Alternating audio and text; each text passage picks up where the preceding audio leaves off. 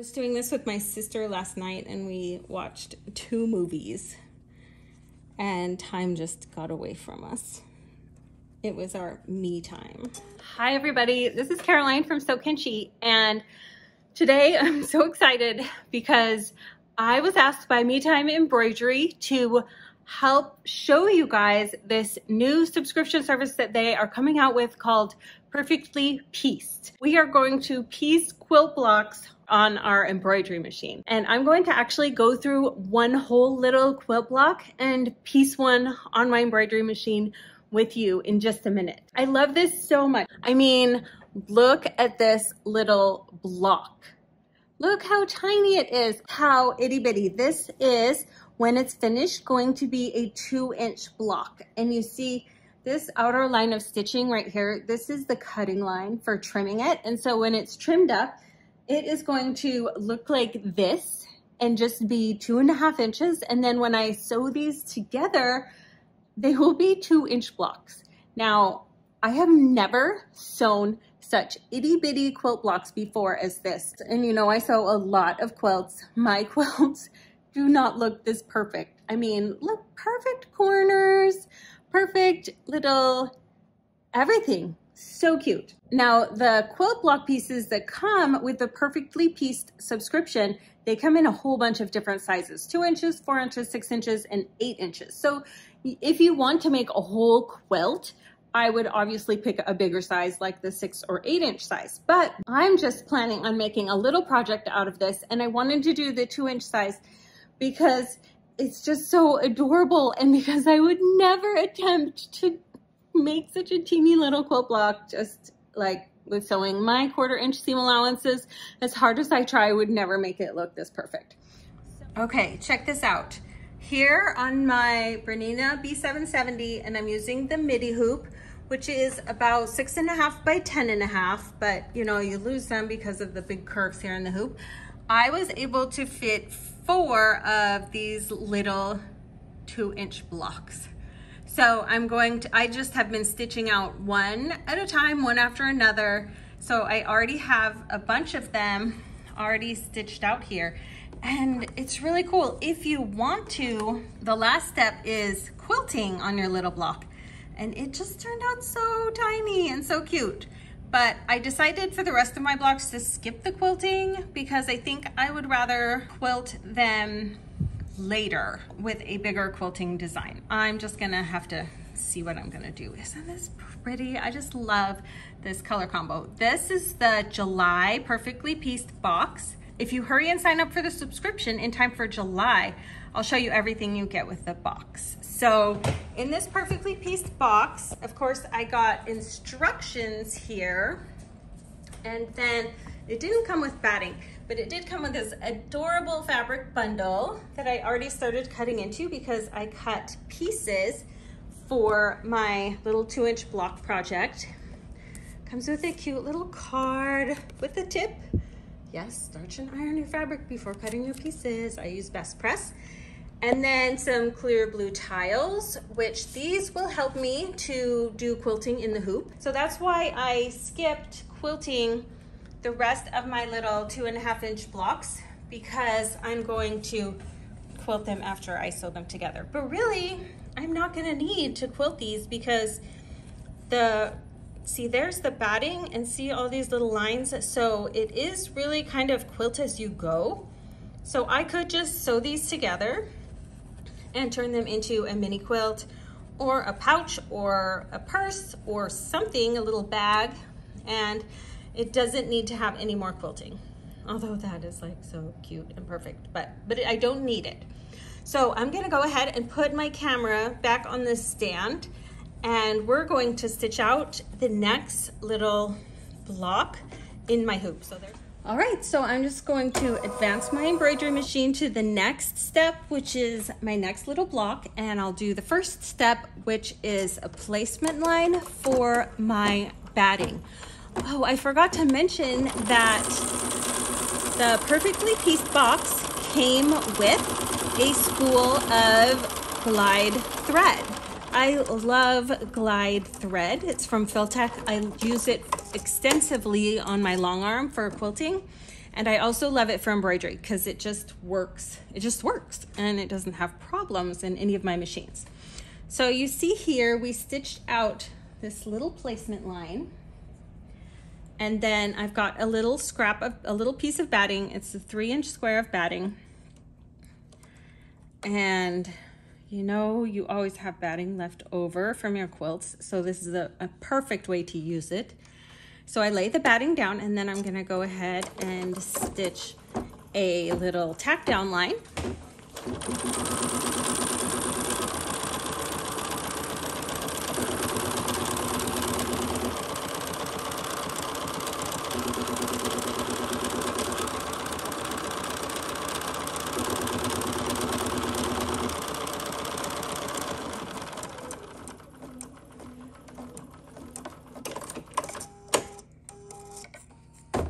And these are my curved handle embroidery scissors, double curved embroidery scissors, and I absolutely love them. They are great for trimming in the hoop. So this step is just stitching out a little outline of what the block design, what the little pieces are gonna look like so that as I lay down my pieces, I can get them in the right place. But it's really super easy. Okay, so the first one is this pretty little pale green piece. And uh, I'm just gonna put it right here, just like the instructions, but I've memorized the instructions already. And then it stitches one little line.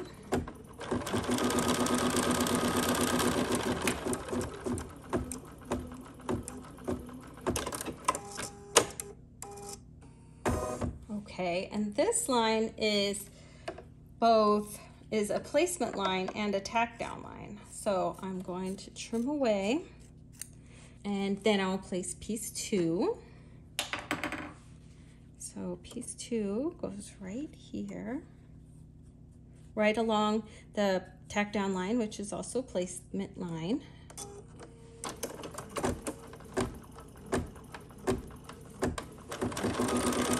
Isn't that cute? It's just like, I think if there's anything I could compare doing piecing in your embroidery machine to, it is like paper piecing without the paper and without having to, you know,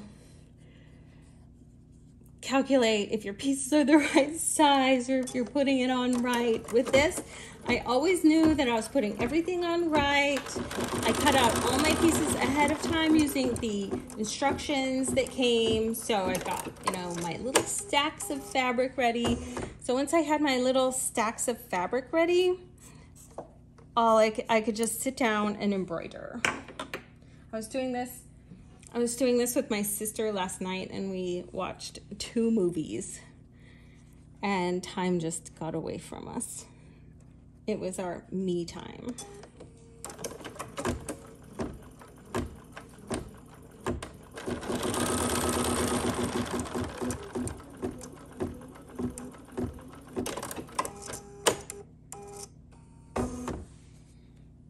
So now I'm just going to finger press this one up.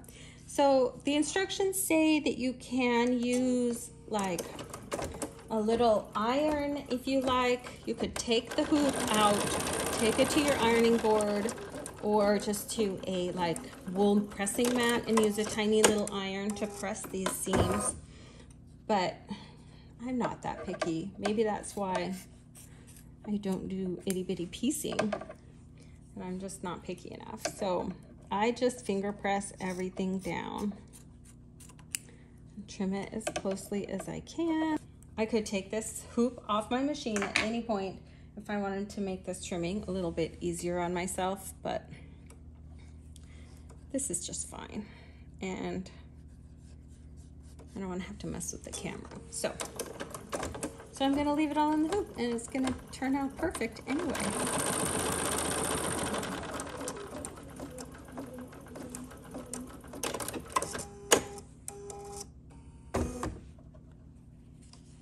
Look at that. Isn't that adorable?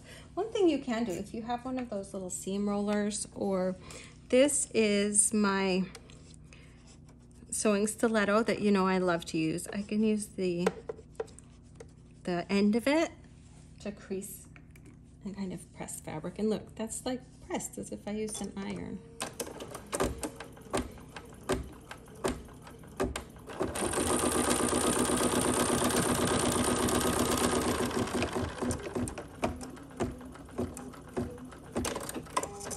So this pretty mint colored thread is the thread that came, the glide thread that came in the kit. And I was so happy to add another spool of glide thread to my collection because I already have a ton. I just love glide thread. Okay, so now it's my favorite print. My favorite print in this box. It looks like I got one, two, three, four, five, six, six different fabrics came in the box. And my favorite is this beautiful little Liberty print from Riley Blake. Liberty has given Riley Blake permission to print some of their designs. I don't know if you knew that, but this is one of them. And I've been wanting to sew with those fabrics for a long time now. So I was so excited to see this little pretty blue floral fabric included. So I'm just going to center this on the line. And as you can probably tell, the dimensions for cutting your pieces in the instructions are nice and generous. So if I accidentally didn't cut something perfectly, so if I accidentally didn't place something perfectly in the hoop, it would be okay. Now, I just noticed here that my machine did not stitch it started, sometimes you might, your, your embroidery machine might do this too. Sometimes it doesn't begin stitching at the beginning, the bobbin thread doesn't catch or something and it, it didn't catch till like a half an inch later here. So I am just going to backtrack to the previous step and I am going to restitch this step.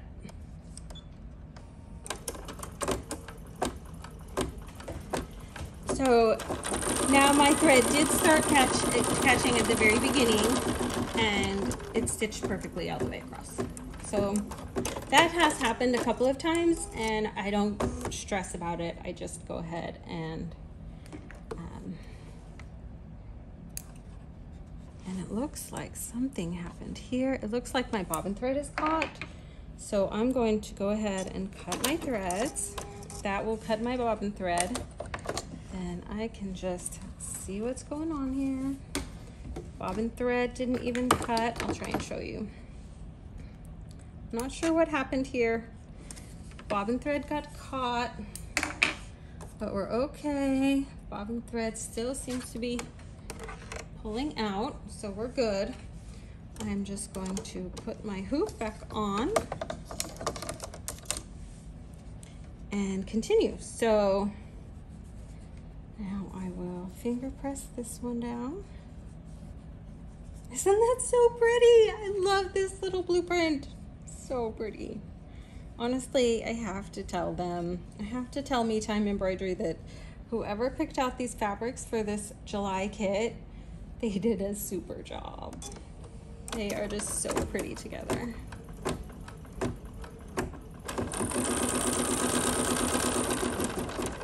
I'm not sure what I'm gonna make with all my little two inch quilt blocks. Like the project, so Me Time Embroidery with each of the monthly kits for Perfectly Pieced, they are including a project, a different project for each size quilt block. So for the two, four, six, eight inch quilt blocks, they're including all these different projects you can make. And most of them are little quilts or pillows this month even a bench pillow, which uses different size blocks, I think.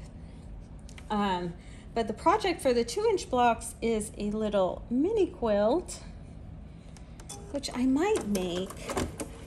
I don't know. Tell me in the comments what you think I should make with all my two inch blocks. I will probably end up making a lot because I, when I was cutting out my fabrics, I cut out enough fabrics to make 12 little blocks and I'm having so much fun that pretty soon I will be done making all 12 and then I'll probably make some more. So I'm not sure what I should make with these little blocks. Now this is the second to last stitch. This is just the outline stitch that outlines the little block. And then it is almost done. Um, I'm stopping here because then I can take it out and trim it and it will look just like this. Now, the last step here is the quilting step, which would make my block look like this, which is totally cute. I just, I'm not sure since I don't know what project I'm gonna make with them yet, I don't want to quilt them all like this.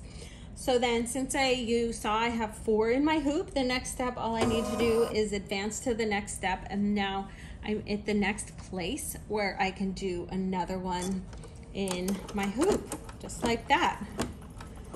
So honestly, without chit-chatting with you like I have been on this video, I think it only takes seriously like less than 10 minutes to do one of these two inch blocks.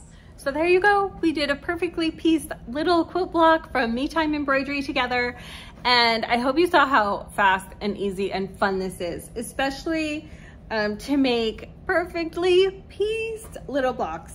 Uh, the name for it is just perfect. When I am done with this little hooping here, I'm going to write a blog post and put it on my blog at sewcanshe.com and I will include links for where you can sign up for Perfectly Pieced. And if you sign up quick, you can get the July box that has the same colors and the same design. Each month, they are going to have a different quilt block design and different fabrics. And just so you know, you can sign up for the box version that is delivered to your home like I did, or you can sign up for the digital only version, which costs less and you will get just the digital files and the printable instructions and a whole lot of stuff, a whole lot of printable project ideas and printable resource guides and printable, just a whole bunch. The digital subscription includes a lot too. But if you want to get the fabrics, the same fabrics that are shown in the instructions and extra little goodies like this month it was the glide thread, Oh, I forgot to show you. This month, they also gave us 15 little wonder clips and they're this cute peach color, which I had never seen before. And of course the clear blue tiles. So if you do order the physical box subscription that comes to your house every month, you will get a whole lot of extra goodies too. So thanks so much for watching. I hope you subscribe to my channel. I am subscribed to the Perfectly Pieced home delivery subscription. So I will be doing one perfectly pieced little block with you for the next few months. So I hope you follow along and maybe we can even do them together. So make sure you subscribe to my channel so you don't miss any of that. And I will see you next time. Happy embroidering.